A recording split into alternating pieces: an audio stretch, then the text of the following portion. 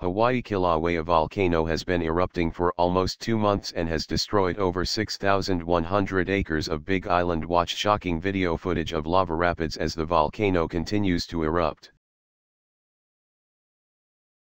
The Hawaii volcano has been erupting since May 3 and has destroyed more than 600 homes on the Hawaiian island of Big Island. More than 2,000 people have been evacuated from Big Island as a result of the devastating eruption, which has dramatically changed the landscape surrounding Kilauea.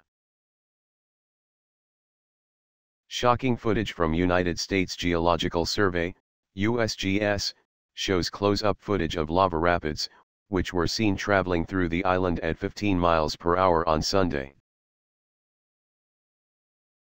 The rapids are created by lava leaving the vent and joining a larger river of lava. The lava balls, also known as lava boats and lava bergs, have also been chugging towards the Pacific Ocean from Fissure 8. The USGS explained, rafts of accrete lava move downstream and look like boats moving down a river.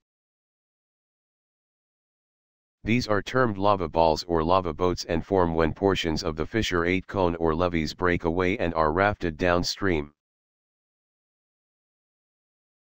As they moved along in the channel, additional lava can cool to their surface to form accretionary lava balls. Lava balls can potentially block the lava flow and divert to new areas, which would mean more of Big Island's lower east rift zone being submerged in lava. Despite the eruption showing no sign of slowing down, the Hawaii Volcano Observatory downgraded the color alert level to orange on Sunday. In a statement, the observatory said, since late May, these collapse-slash-explosion events have rarely produced significant ash plumes rising more than 10,000 feet above sea level where they can pose a significant hazard to aviation.